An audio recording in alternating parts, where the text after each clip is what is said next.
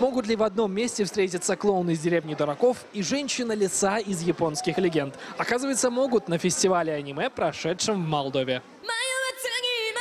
Запоминающиеся анимация и огромные глаза. Пожалуй, это первое, что приходит на ум, когда речь заходит об аниме. Дабы расширить познание, наша команда решила разобраться во всем изнутри. Это аниме-фестиваль, то есть посвященный э, японской культуре, то есть непосредственно аниме.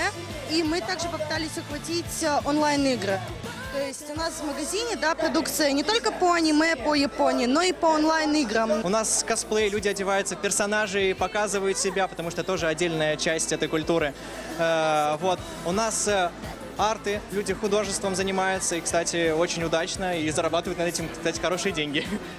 А пока народ собирается, начнем рассказ самого понятия аниме. Если смотреть на вопрос лишь с одной стороны, тогда да, это действительно мультфильм. Однако не стоит забывать, что за дело берутся японцы, вкладывающие особый смысл практически в каждое из своих действий. Так они поступили и с мультипликацией, создав для каждого возраста что-то свое. Но вернемся на Кишиневский фестиваль, где главными героями без сомнений были косплееры. Люди, выступающие в образах персонажей из любимых мультфильмов, кино или компьютерных игр. Я изображаю персонажа Аяна Мирей из аниме «Евангелион». Это первое аниме, которое я посмотрела, и этот персонаж как-то понравился мне. Самое сложное было найти парик. Парик я искала очень-очень долго, и заказывать его очень не хотела. Но костюм заказала. И получилось, что прямо перед э, фестом я, мне удалось собрать костюм полностью. Сегодня я Кицуне. Это персонаж из японской мифологии. Это дух э, лисы, воплотившийся в теле женщины. Мне нравится очень японская мифология. И этот персонаж, он, мне кажется, он немножко даже близок мне. Это кимоно я шила еще в середине этого года. Я его шила на на протяжении около, где, около года, но с большими переменами. Э, попеременно со школой, с обучением, с, с заказами по рисованию, с другими делами. И подготовка, честно говоря, очень долго проходила. Вчера самый дедлайн, самый конечный срок.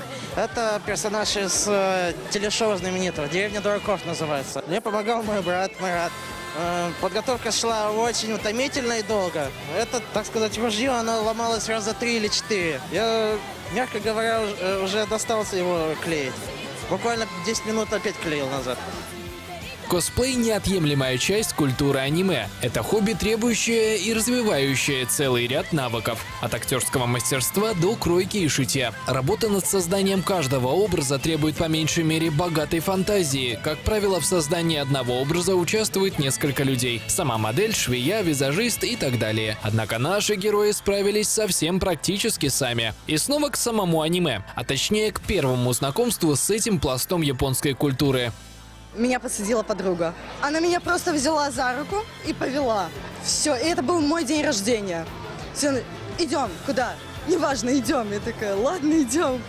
То есть я пришла, и я увидела эти горящие глаза, и я такая, блин, ладно. И потом я уже, она мне посоветовала одно посмотреть, другое посмотреть. Я уже начала смотреть и уже втянулась в это все. Ты не думала, что я так втянусь в это, потому что аниме это стало, можно сказать, оно сделало мою жизнь. И все люди, которые меня окружают, это благодаря аниме, знакомству и фестивалям.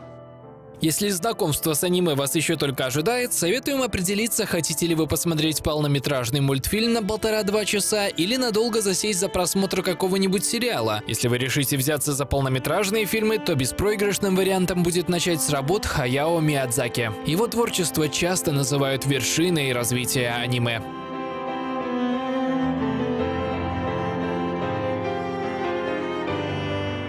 Конечно, знакомство с этим видом мультипликации трудно уместить в минуты сюжета. Следующий шаг за вами. И кто знает, может быть, к следующему фестивалю аниме костюмом своего любимого персонажа обзаведетесь и вы?